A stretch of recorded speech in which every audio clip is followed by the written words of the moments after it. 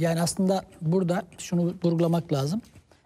Ben artık İsrail'in stratejisinin yani Hamas'ı yok etmek falan olduğunu düşünmüyorum. Artık İsrail ya onlar taktiksel şeye döndü. İsrail tamamıyla ikinci bir nakba yaratmak üzere ciddi bir süreç yürütüyor. Orayı temizlemek istiyor. Bu artık çok net. Yani artık Hamas'ı yok etmek, işte liderini öldürmek bundan artık ben ikincil kaldığını düşünüyorum. Olay oradan çıkmış durumda.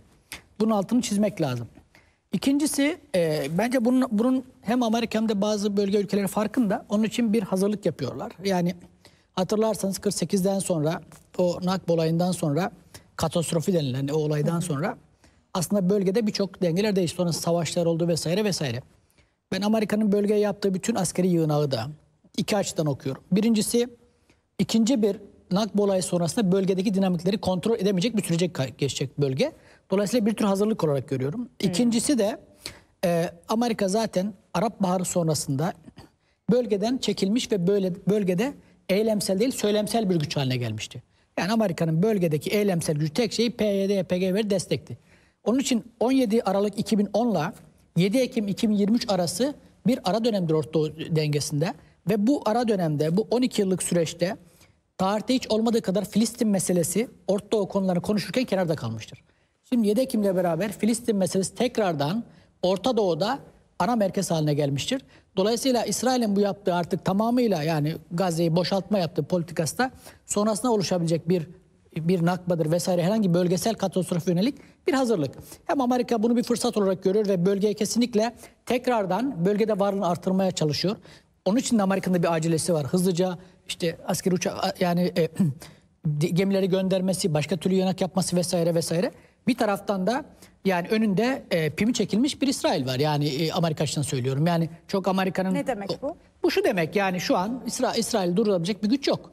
Artık zaten o- olay e, siyasi fırlaşmış durumda. Olay tamamıyla hukuki boyuta gelmiş durumda. O da şu.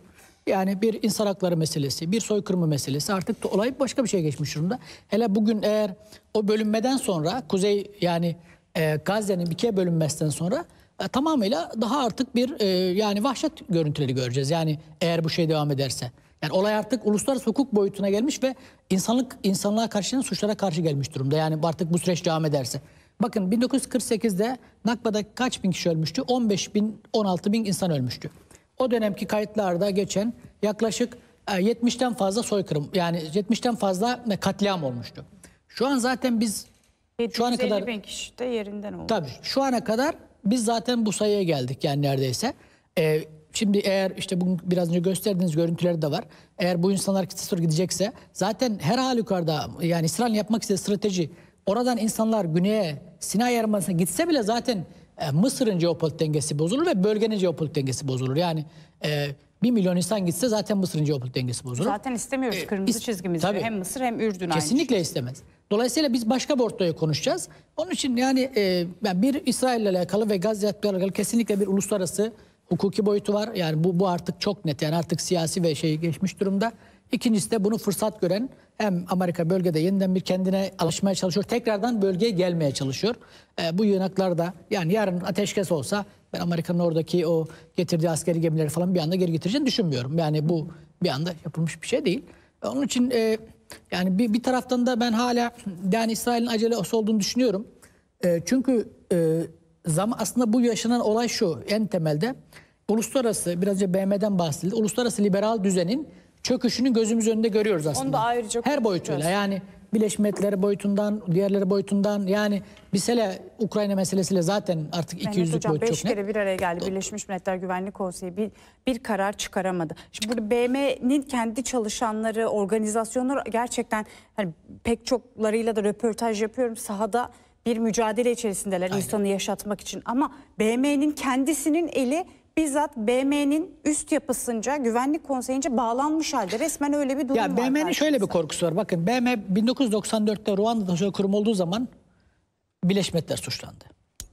Ee, başka yerlerde işte Bosna olduğu zaman 92-95 BM'nin hiçbir yapmadığı suçlandı hatırlarsanız. Hatta 98 Kosova'da işte NATO'nun müdahalesinde bile BM suçlandı. Hatta NATO'nun müdahalesini işte e, yani e, meşru ama hukuku değil diye bir raporla bunu meşrulaştırdı. Daha sonraki yazılan raporda.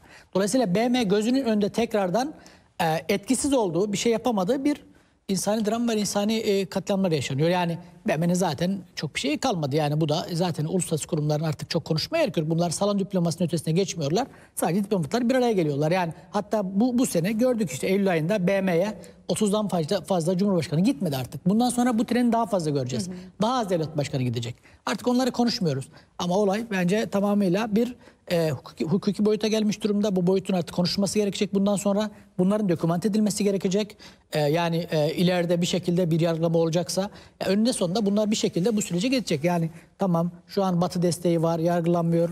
İşte Uluslararası Ceza Mahkemesi'nde herhangi bir üyelikleri yok vesaire ama yani nihayetinde göz göre göre bir katliam yaşanıyor. Yani bu, bu bölünmeden sonra bunun daha fazla olması ben e, yani hem kuvvetli ihtimal görüyorum hem de çok tehlikeli bir süreç yani.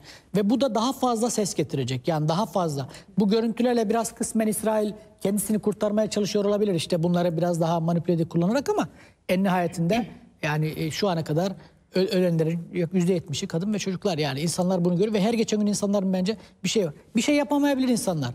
Ama en nihayetinde yani e, İsrail'in artık bir e, yani bir tür işte bir e, bir kurban, bir tür bundan etkilenen artık Hamas'ı neredeyse yani Hamas aşan bir süreç olduğu için insanlar ilk başta Hamas suçladı doğruydu.